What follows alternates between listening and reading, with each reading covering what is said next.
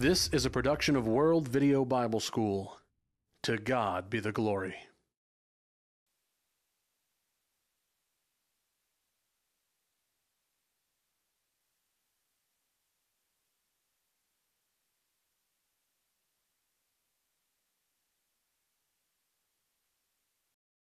There seems to be an infatuation in recent years with the concept of the end of time.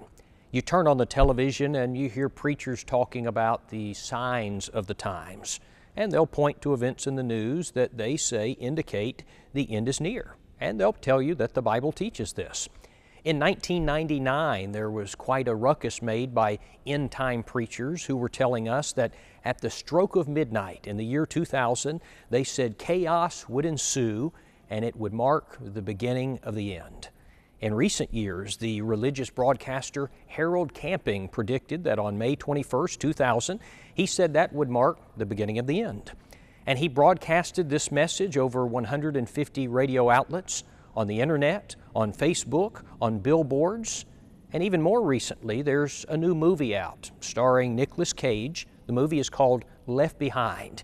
It's based on the best selling novel by the same name written by Tim LaHaye and Jerry B. Jenkins, and it's produced by Willie Robertson from Duck Dynasty. But it depicts one man's opinion of what will supposedly happen at the end of time. You know, frequently when you hear people talking about the end of time, they will throw out terms such as the rapture and the Antichrist and the Great Tribulation and Armageddon. For the next several moments, we want to discuss the end of the world and we want to see what the Bible actually has to say about these subjects. All right, point number one let's talk about the end of time.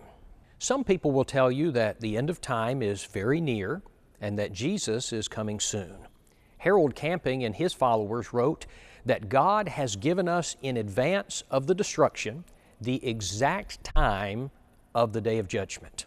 Some people believe that God has hidden in the pages of Scripture a, a formula which reveals the exact day that Christ will return. Other people are, are more vague. They, they don't necessarily believe that we know the exact day, but they claim to know that the end is very near. They say that there are indicators, there are signs of the times, if you will. Now, if you ask them what these signs are, they will usually say, well, wars and rumors of wars and, and famines and earthquakes, and, and they'll cite Matthew 24, verses 6 and 7. But what about that? Are there signs of the times? Is there a way for us to know that the end is near? Friends, the answer to this question is no.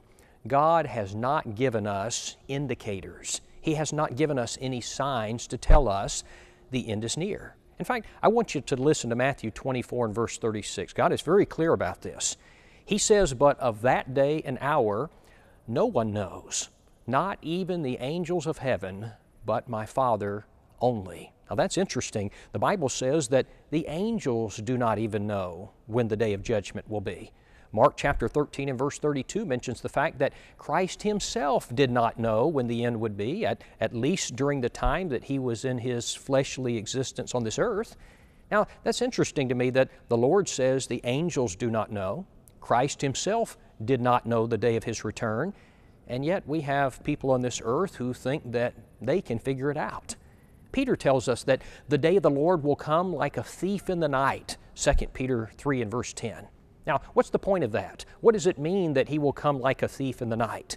Now, the point is that a thief doesn't give you a clue. He, he doesn't indicate when he's coming. He doesn't say that it's going to be at nighttime. He doesn't say it's going to be raining, it's going to be in the month of October. The fact is, it will be an absolute surprise. You will not be expecting it. And that's the point that the Lord is making. He has not given us indicators or signs of when He will come again. You know, it's interesting because if you search the internet, you'll see that people have been predicting the end of time, it seems like from the beginning of time. But Harold Camping didn't get it right. He didn't know, and neither does anyone else. Friends, when will people simply believe the Bible? Of that day and hour, no one knows. No, not the angels in heaven, but my Father only. And, and so, what about these things that people think are signs of the end. Friends, the fact of the matter is, these things have always been with us. when in history have there not been wars and earthquakes? You see, people are taking some scriptures that are pulled out of context, that, that apply to something different, and they are misapplying them to try to predict the end of time. The fact of the matter is, God has not given us indicators telling us that the end is near. We do not know. We have no signs telling us that Jesus is coming soon. All right, point number two. Let's talk about the rapture. Now, you may say, well, what's the rapture? The supposed rapture is an event that's supposedly going to take place in the future in which those who are faithful to God will be secretly called away into heaven. They will be caught up into heaven while the rest of the world is left behind. In fact, that's where the name of the book and the name of the movie comes from the idea that we will be left behind. Those who miss the rapture, the supposed rapture, they will be left on this planet to deal with what follows. In fact, I want to read you the description from the Left Behind movie website. It says this The most important event in the history of mankind is happening right now. In the blink of an eye, the biblical rapture strikes the world. Millions of people disappear without a trace. All that remains are their clothes and their belongings, and in an instant, terror and chaos spread around the world. The vanishings caused unmanned vehicles to crash and burn. Planes fall from the sky. Emergency forces everywhere are, are devastated. Gridlock, riots, and looting overrun the cities. There is no one to help or provide answers. In a moment, the entire planet is plunged into darkness. And so that's how they describe this event, the rapture. In fact, maybe you've been driving down the street and you have seen a bumper sticker on a car that says, Warning, in case of rapture, this car will be unmanned. And, and so the idea is that here's a car driving down the street and, and the driver of the car is raptured. He's gone, and so the car crashes. And, and the idea is there will be airplanes that will be flying and passengers will just disappear. Perhaps the, the pilot will disappear and the airplane will crash and burn. There will be buses driving down the street and, and mysteriously the, the driver will be gone. And so hundreds of thousands of people around the world are suddenly just going to vanish. At least that's the theory of the rapture. In fact, I want you to listen to, to this man's description of the rapture. This is from a man named Peter Ruckman. He did a lecture on the rapture, which was later put into a, a book form. He says this He says, The Lord is going to come, and a bunch of people are going to go out. If he were to come in the next five minutes, there would probably be some people still sitting here, maybe two or three over here and two or three over there. He says, you would probably lose your mind because it would be so unreal you couldn't grasp it. One minute, you're sitting here looking at a man preach, and then he says, and the next minute, the pulpit's empty, and there is blood coming off the platform. One minute, you're looking at someone's head in front of you, and the next minute, you can see all the way down to the front row. He says, and there would be piles of clothes all over the benches, and about 50 gallons of blood coming down that carpet. Friends, I don't know where he gets any of this because none of this is in the Bible. And this idea that Christ is coming at some point in the future, at which time he will secretly rapture the faithful Christians who are living on this earth, I guess it makes for an interesting movie, but it's not what the Bible says. Well, what does the Bible say? That's what we care about. First, Nowhere does the Bible teach the concept of a secret coming of Christ, a secret appearance of Christ, where Christians will be secretly raptured away. 1 Thessalonians chapter 4 describes for us the second coming of Christ, but it describes it very differently. Listen to this 1 Thessalonians 4 and verse 16. The Bible says, For the Lord Himself will descend from heaven with a shout. Now listen to that. And with the voice of the archangel, and with the trumpet of God and the dead in Christ will rise first.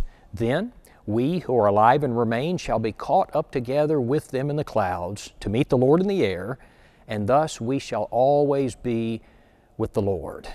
Now, friends, that certainly doesn't sound like a secret coming of Christ. What we have is a, a shout and the trumpet of God. The world is going to be aware of this. There's nothing secret about it. In addition to this, Revelation chapter 1 and verse 7 indicates that not only will the trumpet of God be sounding, but when the Lord comes again, the Bible says, every eye shall see him. Again, that doesn't sound like a secret. Okay, a second key problem with the rapture theory is that it teaches that the living and the dead saints will be raptured away to heaven while the rest of the world will be left behind on this earth for years to come. Now, the problem is the Bible plainly teaches us that both the righteous and the wicked will be resurrected at the same hour. Listen to this. This is John chapter 5, verses 28 and 29.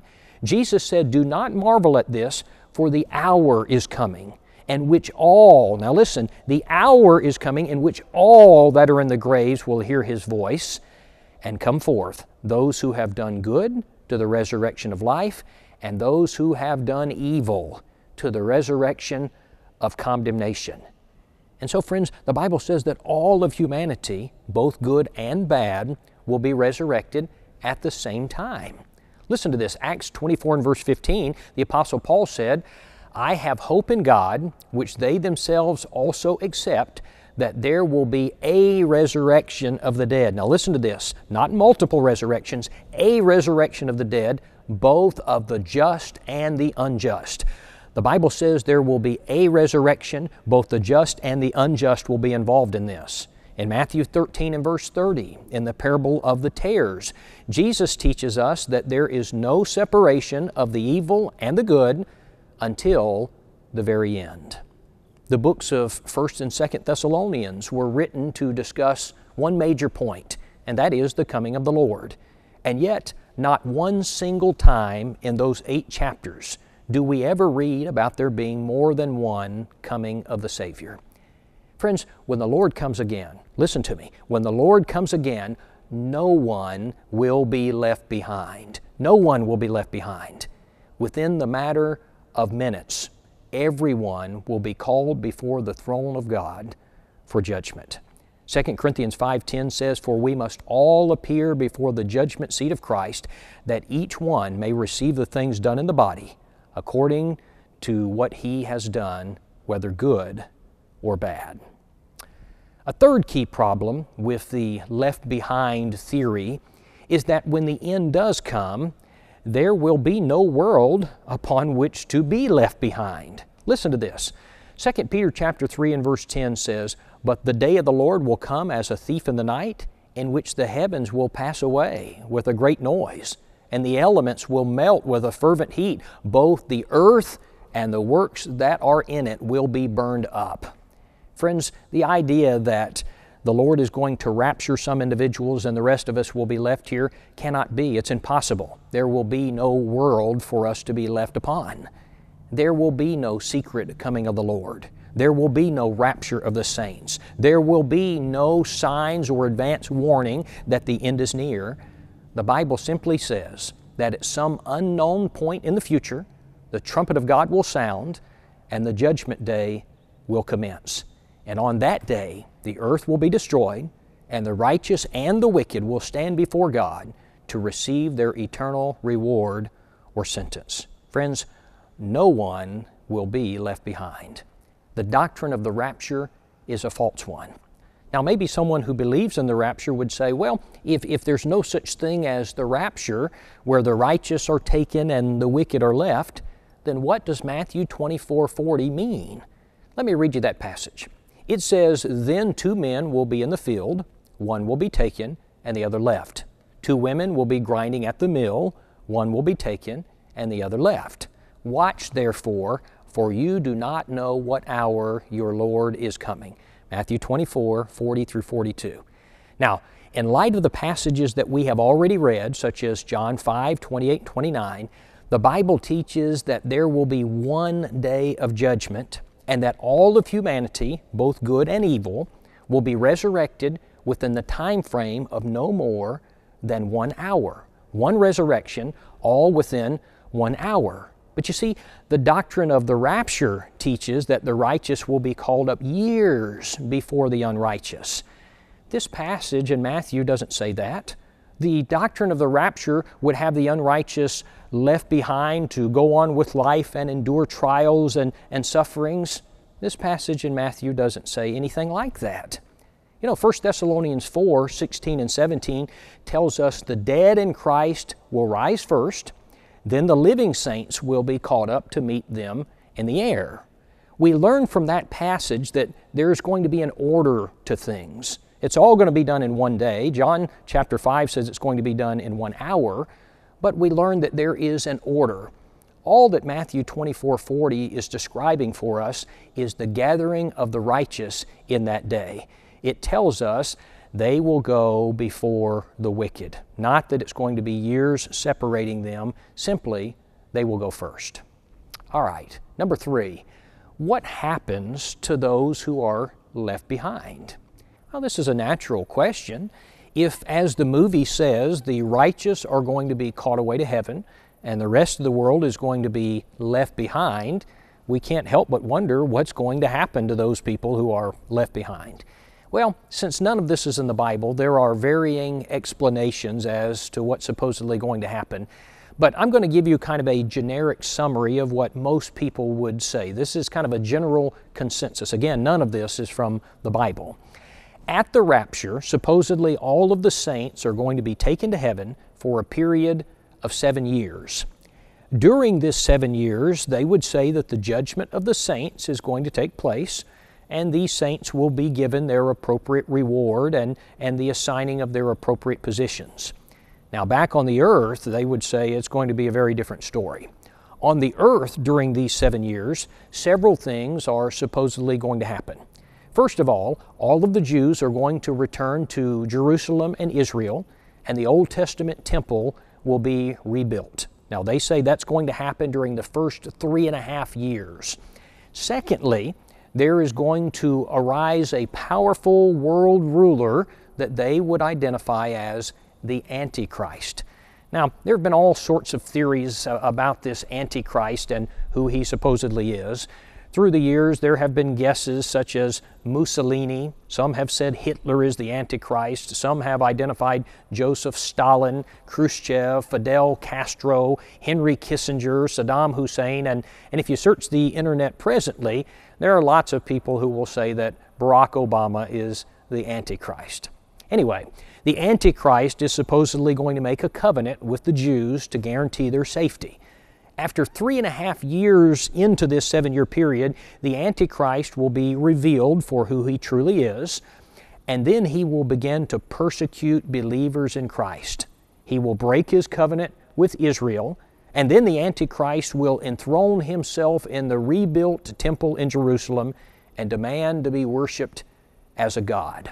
Anyone who's converted during this period is, is referred to as a, a tribulation saint, and they say that those converts will be persecuted severely. Now, I, don't want to get bogged down in all of the details right now, but, but uh, let's keep in mind the big picture. The saints have supposedly been raptured to heaven, and the rest of the world is still here on this earth, and it's going to be bad. And in fact, really bad. In fact, they would describe this as the Great Tribulation. It's supposedly going to be the worst, most intense suffering and persecution that this world has ever known. Now, again, none of this is in the Bible, though it's taught by many denominations. Friends, the fact is, it's purely fiction. Now, somebody says, if it's purely fiction, then from where do they get it? Where, where does this concept of the Great Tribulation come from? Well, they get it from Matthew chapter 24 and the description of the destruction of Jerusalem. Matthew 24 and verse 21 says, For then shall be great tribulation. But I want you to notice the Bible doesn't describe this as something that will happen at the end of time. Rather, it is a description of the intense suffering that would take place when the Roman armies attacked Jerusalem in 70 AD. This is not an end time description, it's something from the past. In fact, if you will read Matthew chapter 24, after describing this attack and the destruction of the city of Jerusalem, Jesus says in Matthew 24 34, Assuredly I say to you, this generation will by no means pass away. Now listen to this, till all these things take place. He says, Heaven and earth will pass away, but my words will by no means pass away. What does the Lord say? He says, I have described some things about the destruction of Jerusalem. It involves some tribulation. He says, but this is going to take place before the end of this generation. You see, this is tribulation from the past, not from the future. Jesus tells us this would happen within their generation, not the end of time. And history tells us that about 40 years after Jesus makes these remarks, it happened just as he described. Rome attacked Jerusalem, and the suffering, the tribulation was intense. All right, back to the theory that the saints are in heaven and the rest of the world is, is on the earth suffering persecution and, and tribulation from the Antichrist and, and from his armies. They believe that all of this suffering, this, this great tribulation, is going to culminate with a great battle of the forces of good and evil. They call this battle the Battle of Armageddon. In fact, let me read you Hal Lindsey's description of the uh, Battle of Armageddon from his very famous book, The Late Great Planet Earth. And again, this is one person's rendering, this is one person's opinion. Uh, there are apparently many different descriptions of how this supposed battle is going to take place. Anyway, he believes that two massive armies will meet on an ancient battlefield in Israel known as Armageddon, where the final battle for control of this world will take place. Now, here's how he describes the scene. He says, So here it is, the last great conflict after the Antichrist assembles the forces of the rest of the whole world together, they meet the onrushing charge of the kings of the east in a battle line which will extend throughout Israel, with the vortex centered at the valley of Megiddo. He says that there will be so many who will be killed. He says that blood will stand to the horses' bridles for a distance of 200 miles northward and southward of Jerusalem. In fact, he says that the war will spread all over the earth, destroying cities like London and Paris and New York. And then he says, as the Battle of Armageddon reaches its awful climax and it appears that all life will be destroyed on the earth, in that very moment, he says, Jesus Christ will return and he will save man from self extinction. Now, friends, let's ask this question Does it matter? Maybe you've been watching this video and you're thinking to yourself, okay, we don't know when Christ will return, and, and there's no scriptural evidence for the rapture, and, and so what if the Great Tribulation is, is a total concoction? What difference does it really make? Is this really a matter of eternal consequence? Friends, the doctrine of the rapture contradicts what the Bible says about the day of judgment. Now that makes it extremely serious. In fact, in 2 Peter chapter 3, Peter talks about the final day, about the day of judgment. But in the previous chapter, in chapter 2, just before launching into that discussion, Peter tells us that there are and will be false teachers who bring in destructive heresies. Chapter 2 and verse 1. Friends, those who teach the false doctrine of the rapture are just such teachers as Peter is describing. You know, the book of Revelation talks to us about the end of time. And then the Lord tells us near the end of the book, He says, I warn everyone who hears the words of the prophecy of this book. If anyone adds to them, God will add to him the plagues described in this book. And if anyone takes away from the words of the book of this prophecy, God will take away his share in the tree of life and in the holy city, which are described in this book. Revelation 22 18 and following. In light of these things, this doctrine is extremely serious. Friends, the fact of the matter is, we don't know when the Lord is coming again. The Bible says, Of that day and hour no one knows, not even the angels of heaven, but my Father only. But as the days of Noah were, so also will be the coming of the Son of Man. But you see, we don't know when that will be. We don't know when the Lord will return. But we do know this when the Lord does return, it will not be to take the righteous only. Friends, all of humanity will be resurrected on that day to stand before God in judgment, and no one will be left behind.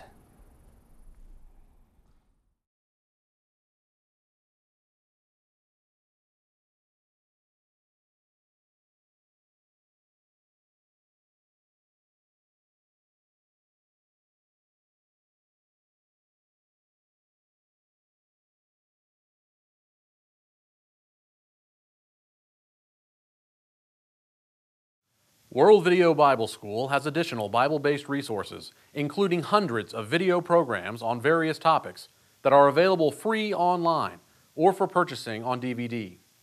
These programs, along with other print and audio materials, are available at WVBS.org.